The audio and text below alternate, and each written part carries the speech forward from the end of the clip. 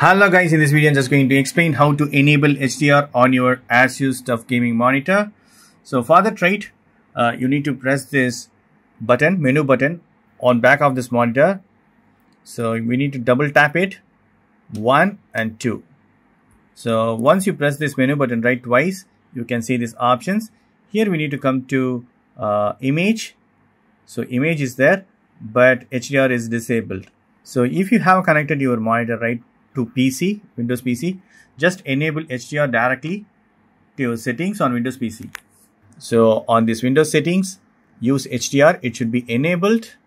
So I'm going to enable it. Now the HDR is enabled. Now I'm going to bring back the menu, double tap it. So here we need to come to image and HDR is enabled. So here you can choose console mode or Asus Cinema HDR or Asus Gaming HDR you can select it whatever you want. So i'm going to choose console mode.